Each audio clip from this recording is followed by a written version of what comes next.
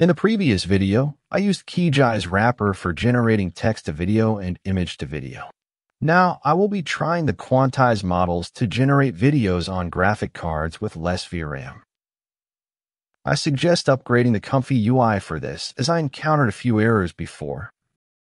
I'm currently using version 0.3.26. To begin, I will share the links to these two workflows in the description. Assuming you got the link from the description, I will copy the link and open it in a new tab. You can then download the file or simply copy it from top to bottom and paste it into Comfy UI. It indicates that two of the nodes are missing. I looked at the installed nodes and I have only two. One is the manager, and the second is from the last video on Kijai's wrapper. The red highlights indicate the missing nodes. From the manager, I will install those missing nodes. The first is for the quantized models, and the second is for the video output. I prefer the latest version, but it's not available. Let's continue with what we have. For the Video Helper Suite, I will select the latest version available. Now that we're done with the nodes, it says to restart Comfy UI.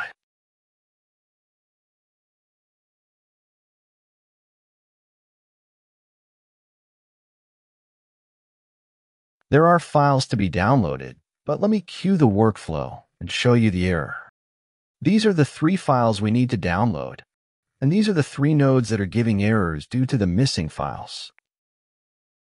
The first file is the UMT5FP8 file. This is a text encoder.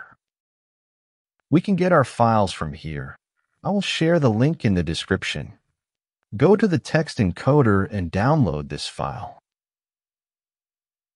The above file FP16 will work for us, but this video is for graphics cards with less memory, so I will download the smaller file and save it into Comfy UI under Models and then Text Encoders. The second file is the GGUF model. If you check the Hugging Face profile with the username City96, you can find the model. This is an image-to-video model with a resolution of 480 pixels. Similarly, this is to generate a 720 pixel video. The third file is the text to video model, which works for both resolutions by setting the values in the workflow. For now, we are working with a text to video workflow, so I will be using this text to video model.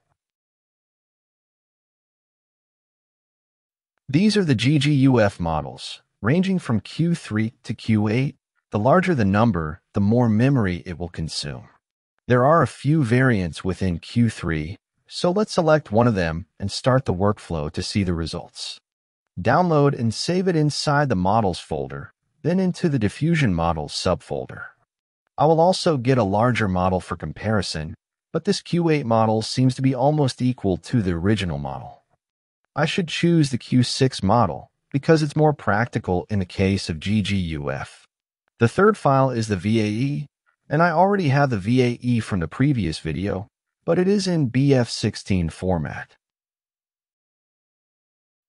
On the same page we saw before, there is a VAE folder with the correct file in it. Download it and save it inside the Models folder, and then into the VAE subfolder. After the download, let me select the file. It may not appear as expected, so just reload the page.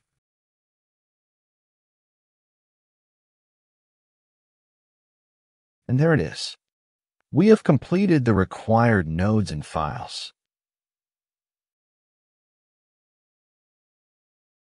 Now let me provide a prompt about a dog in a basket with a bicycle moving forward and the dog's ears flapping in the wind. The total number of steps will be 30. It usually works well around 25 to 30. The CFG value typically ranges from 5 to 6. This video combine node has a frame rate of 16 frames per second, and I should increase the total number of frames for a 5 second video. This is for a 5 second video. The height and width can be adjusted here. I think that's it. Let's generate the video. A spike in the SSD and RAM usage is visible, but then it returns to normal.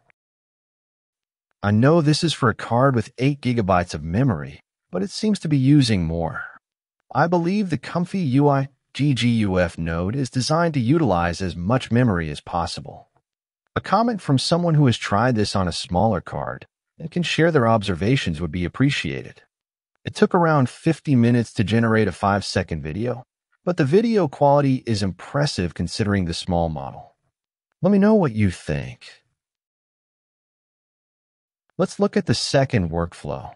You can find the link in the description. Open it in a new tab.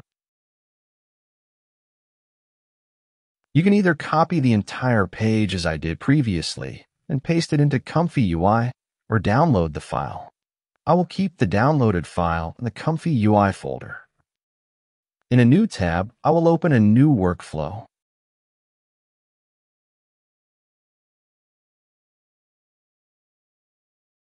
and the image to video workflow will load. Let me try to generate it and see what happens. Okay, two files and an image are missing. The first is the model, which is the image to video model we already saw on Hugging Face. The second is for the image we included in the process. Clip Vision corresponds to the image we upload. For this video, I will use the 480 pixel model.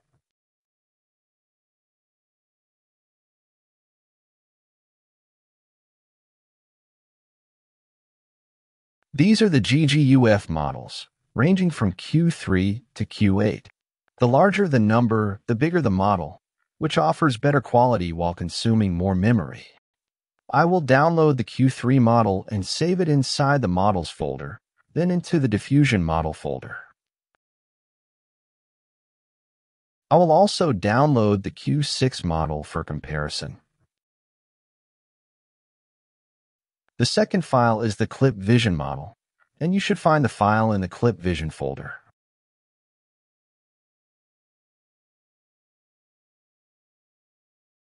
Download it and save it into the Models and Clip Vision folder. After downloading, I will reload the page and select the Image to Video Q3 model along with the Clip Vision file.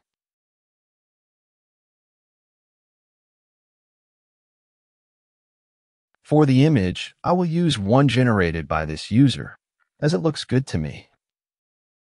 I cropped the image to match the video resolution and then provided a prompt for miniature people working on a construction site. The hardware usage appears similar to the previous text-to-video workflow. I received the result quickly and I was surprised until I realized it was a two second video. It was a 16 frames per second video with a total of 33 frames. I increased the total frames to 81 for a 5 second video, and after 45 minutes I got the result and it looks good. There are some unusual shapes and objects present, but we can attribute that to the Q3 model, and overall I think it looks good. I used the same workflow, but the video from Q6 was overexposed. Q3 looks good though. Here the Q6 generated a time lapse for me. I think both the results are good. By the way, just now a new, fun model was released by City96 for Wan 2.1 if you want to try.